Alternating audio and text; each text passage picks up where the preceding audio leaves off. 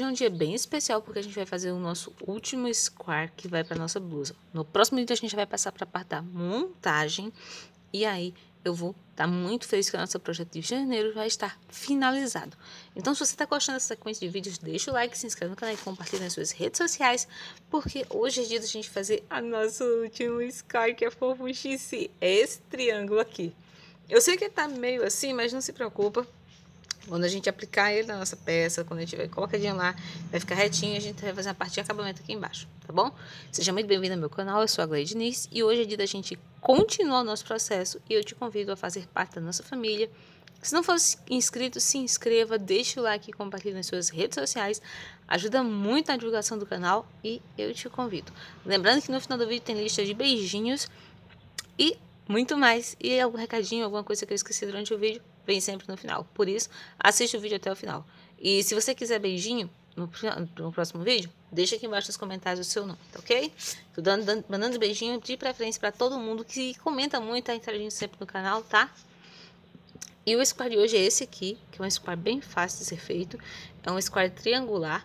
A gente vai começar daqui e vai trabalhar. Lembrando que daqui de uma ponta a outra, ele tem que ter a mesma medida dos outros, 17 centímetros. Dessa extremidade até essa, 17 centímetros, tá ok? vou começar junto com vocês. Bom, vamos lá. Dei o um nozinho inicial na minha agulha. Um, dois, três, quatro, cinco correntinhas. No outro lado, faço um ponto baixíssimo. Vou fazer três correntinhas. Uma, duas, três correntinhas. Vou fazer um ponto alto aqui dentro. Nesse anelzinho que a gente fez, ó, nesse aqui, ó, um ponto alto aqui dentro. Vou fazer quatro correntinhas. Uma, duas, três, quatro correntinhas. Passa aqui a agulha. Laço minha agulha e vou colocar um ponto aqui. E mais um ponto aqui do outro lado, na, na última correntinha, tá vendo, ó? Prendi Nota que eu prendi dentro da correntinha, tá vendo? não prendi dentro do espaço. Prendo aqui, ok?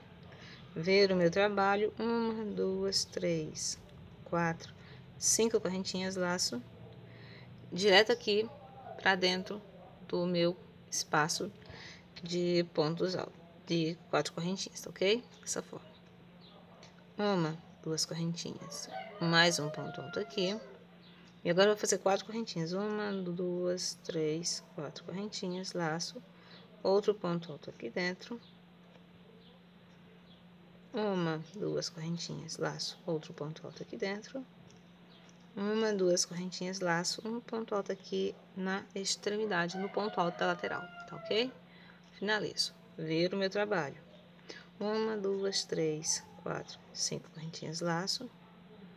Venho, ponto alto aqui uma, duas correntinhas, laço, ponto alto aqui, uma, duas correntinhas, laço, ponto alto aqui dentro, uma, duas, três, quatro correntinhas, laço, ponto alto aqui dentro, duas correntinhas, laço, ponto alto aqui, uma, duas correntinhas, ponto alto aqui, uma, duas correntinhas, laço, um, dois, terceira correntinha de baixo para cima, ponto alto, tá? Começamos o nosso square triangular. O que, que eu tenho que ter em mente com relação a esse square triangular? Eu sempre vou ter pontos altos separados de duas correntinhas e aqui no meio eu sempre vou ter que fazer um Vzinho com quatro pontos de correntinha, ok?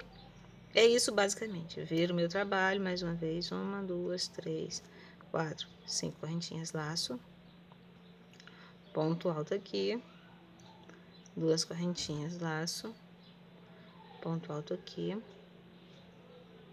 duas correntinhas, ponto alto aqui, onde eu falei para vocês, dentro do Vzinho, duas correntinhas, ponto alto, uma, duas, três, quatro correntinhas, ponto alto aqui dentro novamente, duas correntinhas, ponto alto aqui, duas correntinhas, ponto alto aqui, duas correntinhas, ponto alto aqui, duas correntinhas, ponto alto aqui no alta extremidade.